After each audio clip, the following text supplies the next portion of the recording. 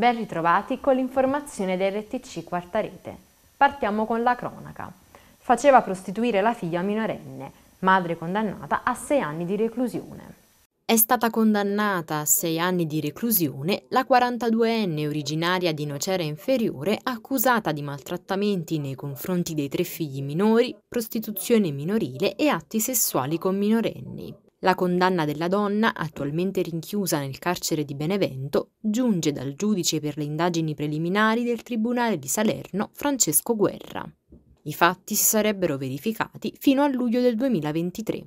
Al centro del processo le dichiarazioni dei figli, in particolare della figlia maggiore, oggi collocata in una struttura protetta, che ha raccontato le dinamiche che si verificavano in casa, dalle punizioni corporali alla deliberata privazione del cibo, ai racconti relativi agli atti sessuali che erano costretti a compiere soprattutto nei confronti di un amico della madre, il quale, in cambio di poche decine d'euro, abusava in particolar modo della figlia maggiore, all'epoca solo quindicenne.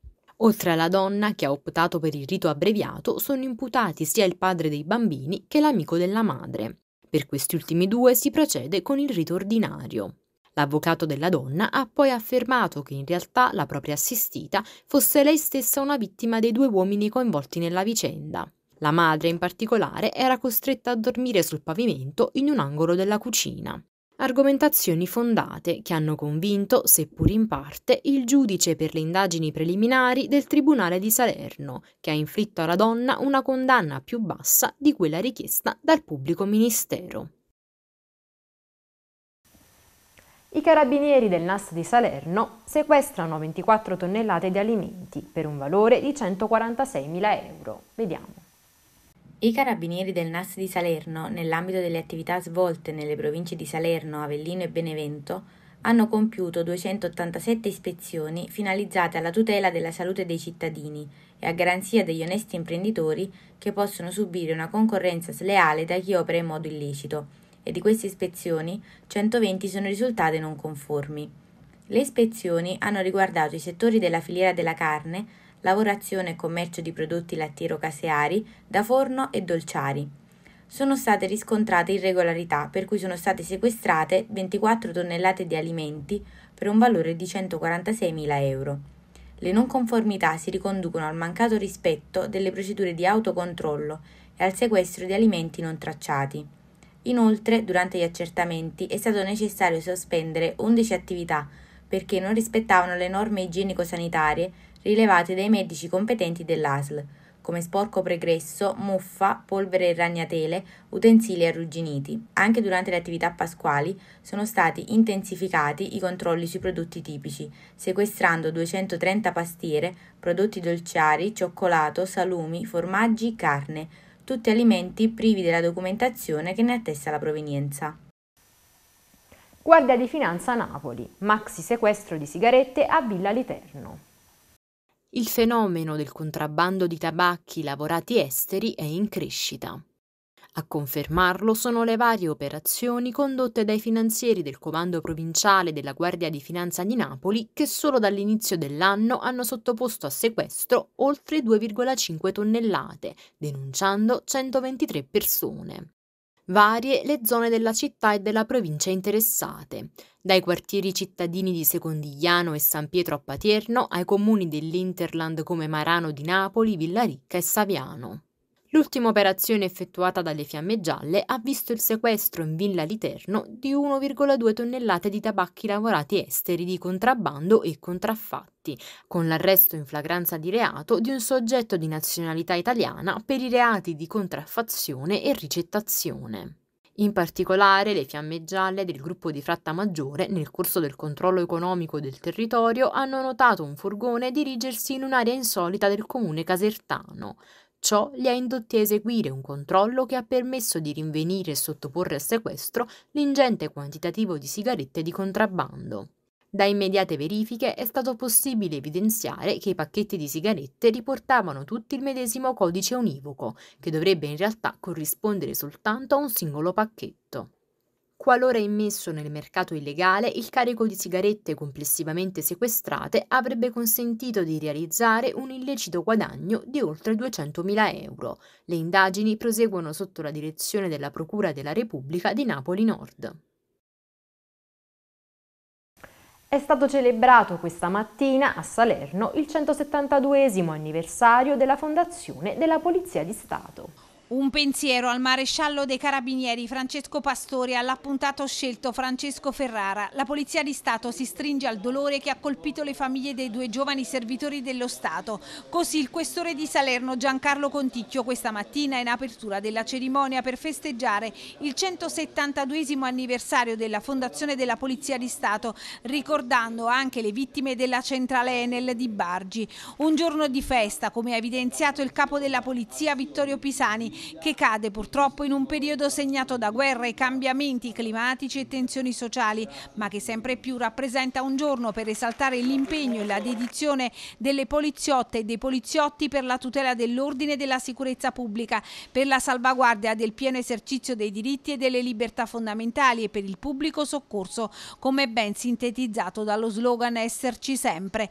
Le celebrazioni sono iniziate nel piazzale antistante la questura di Salerno, dinanzi alla lapide che ricorda gli agenti Mario De Marco e Antonio Bandiera, con la deposizione di una corona di alloro da parte del prefetto Francesco Esposito e del questore Giancarlo Conticchio, che hanno poi passato in rassegna il picchetto della Polizia di Stato schierato in piazza Mendola prima della celebrazione nel Teatro Augusteo. L'anniversario di fondazione della Polizia di Stato è l'annuale appuntamento durante il quale si effettuano bilanci sull'attività espletata dalla Polizia di Stato in provincia di Salerno, a testimonianza testimonianza dell'impegno degli uomini e delle donne in divisa in un anno passato al servizio della collettività che si riflette su quanto è stato fatto e su come approcciare le nuove sfide della sicurezza.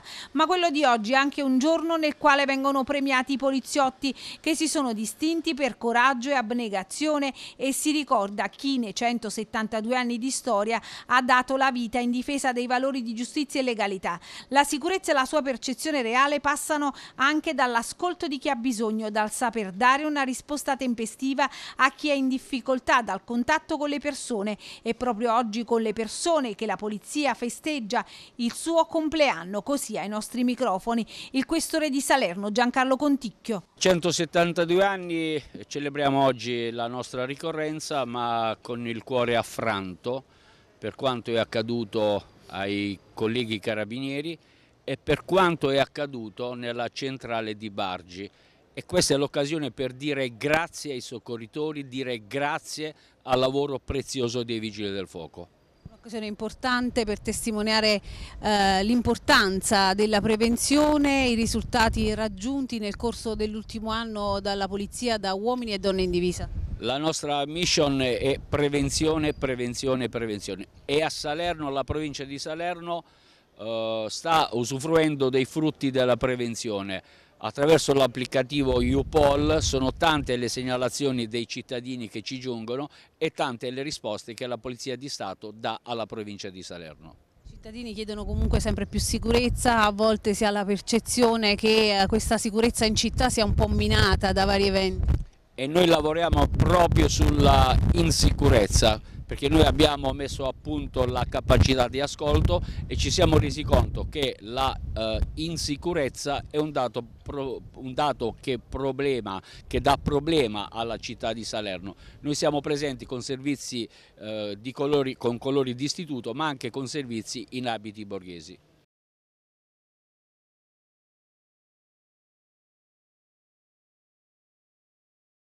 E ci spostiamo a Cava dei Tirreni, dove è stato siglato domenica scorsa il gemellaggio tra Cava dei Tirreni e la città greca di Veria.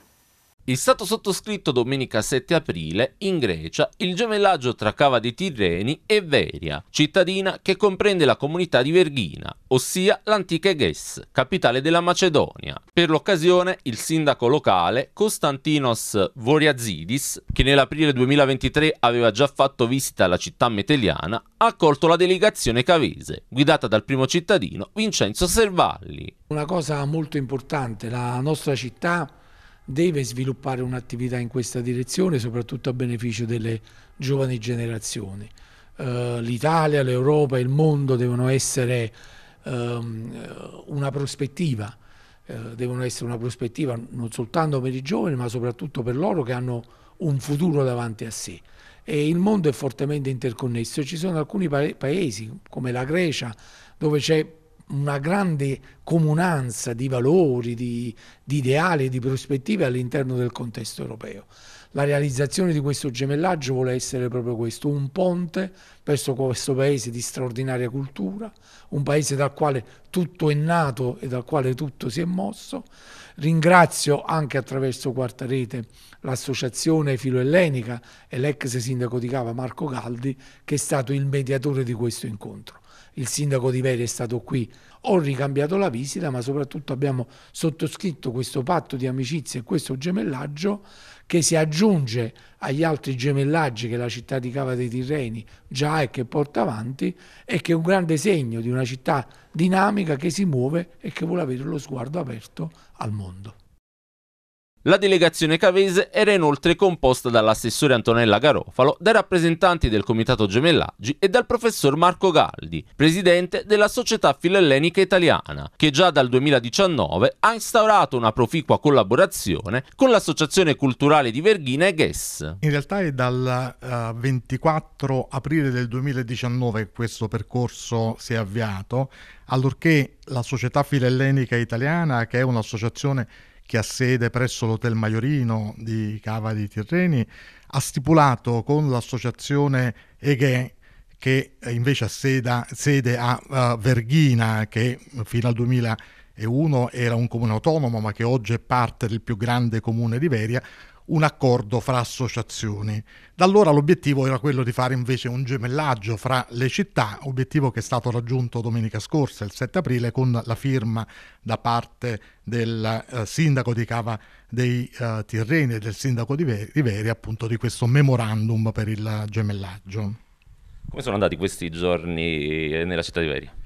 Ma sono stati per la verità due giorni, ma molto intensi, una grandissima uh, ospitalità da parte dell'amministrazione di, uh, di Veria, uh, l'opportunità per visitare i tesori che questa città presenta. Veria Uh, ha nel suo territorio, dicevo prima, uh, Verghina, che è stata la prima capitale dell'impero macedone, dove ci sono le tombe dei re macedoni, in particolare la tomba di Filippo II, il padre di Alessandro uh, Magno, del figlio di Alessandro Magno, Alessandro IV, della moglie di Filippo Olimpiade. E in realtà si tratta di un museo, diciamo, anche sito archeologico, perché si entra praticamente in questo museo, ma dentro si trovano le tombe reali eh, ed è veramente straordinario. Poi abbiamo visitato la, la, reggia di Filippo che era un monumento visibile a, dis- a distanza di chilometri e chilometri per in qualche maniera segnare no, il potere dei uh, macedoni e abbiamo visitato la, il nuovo museo che hanno aperto da poco proprio nella Macedonia, sempre nella città di Veria e poi ovviamente la città, la città storica eh, eh, abbiamo visitato in particolare il ghetto ebraico, eh, la eh, chiesa met- metropolitana, insomma eh, tanti tesori eh, di cultura, di storia che questa città offre e che sono ovviamente a disposizione dei cavesi che grazie al gemellaggio potranno andarla a visitare. La Regione Campania parteciperà sabato 13 e domenica 14 aprile a Cammini Aperti, il più importante evento nazionale dedicato ai cammini alla riscoperta del turismo lento, una modalità di viaggio sempre più in voga che permette di assaporare appieno anche angoli meno noti del nostro territorio. La Regione Campania si presenta con la via Francigena Campana, un cammino all'insegno di un passato importante ricco di preziose testimonianze che si snoda attraverso le province di Caserta, Avellino e Benevento il Cammino di San Nilo, affascinante itinerario naturalistico nel Cilento bizantino, e il Cammino di San Pio, un percorso di spiritualità fra i più intensi della campagna nei luoghi del Santo di Pietrelcina. Il Cammino di San Nilo è un cammino già riconosciuto dalla Regione Campania ed è attualmente iscritto nell'Atlante regionale dei cammini, avendo soddisfatto tutte le condizioni previste dalla normativa vigente. Di prossimo riconoscimento è, al momento e per la parte che si sviluppa all'interno del territorio campano, il Cammino di San Pio, inserito nel catalogo nazionale dei cammini religiosi italiani presso il Ministero del Turismo. Ci fermiamo adesso per una breve pausa e poi riprendiamo con lo sport. Colorificio Cavese consiglia Biotex anticondensa, idropittura anticondensa traspirante, antimuffa per interni di facile applicazione, ottimo potere riempitivo e coprente. Via 25 luglio 87 84013 Cava dei Tirreni, Salerno. A Cava dei Tirreni c'è un luogo dove l'esperienza incontra l'innovazione, dove il gusto diventa arte e la tradizione si mescola con la modernità.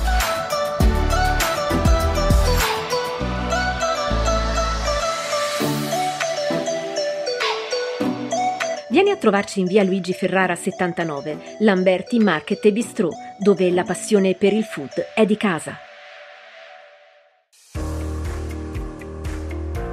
Zero stress per riparare la carrozzeria della tua auto. Restyling Car in via Starza a Cava di Tirreni è specialista in riparazioni, gestione sinistri con fornitura di auto sostitutiva, detailing completo. Sport Calcio. La Cavese, che ha già vinto il campionato, ha fatto svolgere ieri un allenamento aperto al pubblico. Intanto il giudice sportivo della Serie D ha usato la mano pesante su alcuni calciatori della Boreale, che pertanto non potranno affrontare i biancoblù. Primo allenamento a porte aperte per la Cavese ieri al Simonetta Lamberti dopo diverso tempo. Gli Aquilotti hanno aperto le porte della propria casa al pubblico alla prima occasione dopo che è diventata realtà la vittoria del campionato di Serie D, con conseguente promozione in C. Era probabilmente dai tempi del ritiro precampionato che non si svolgeva un allenamento aperto al pubblico a Cava dei Tirreni e la società ha fatto questo per permettere alla propria tifoseria di essere presente e far sentire il proprio calore ai giocatori di Mister di Napoli.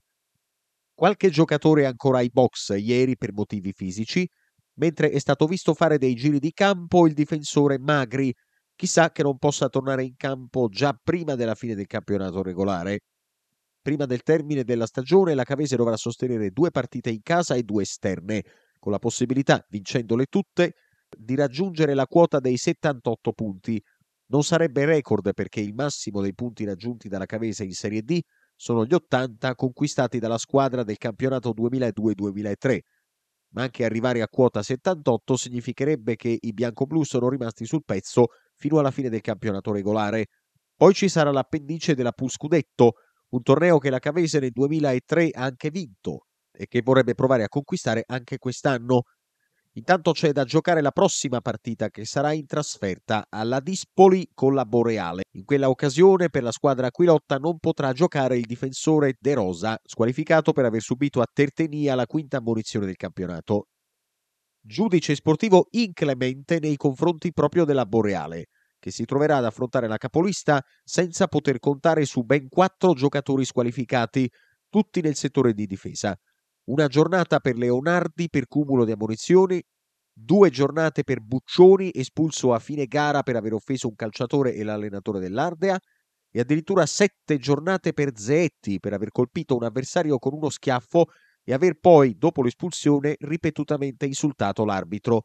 Questi si aggiungono al già squalificato Casavecchia, un altro difensore. Hanno poi ricevuto una giornata a testa in casa Nocerina l'allenatore Marco Nappi, espulso per aver oltrepassato l'area tecnica nell'atto di protestare verso l'arbitro contro il Cassino, e il Jolly Citarella e il difensore Petti, che hanno ricevuto la quinta ammonizione. L'Ischia perde l'attaccante Quirino per tre giornate in quanto ha colpito con un pugno un calciatore dell'Atletico Uri nella partita giocata sabato scorso. L'Ardea è stata multata di 4.000 euro e dovrà giocare due partite interne a porte chiuse, quelle contro Anzio e Romana, a causa dei disordini creati durante il secondo tempo da tifosi e dirigenti della società ardeatina che contestavano l'operato del direttore di gara. I rossoblù erano rimasti in 10 per espulsione di Bruno, anche se poi avrebbero vinto lo stesso la partita.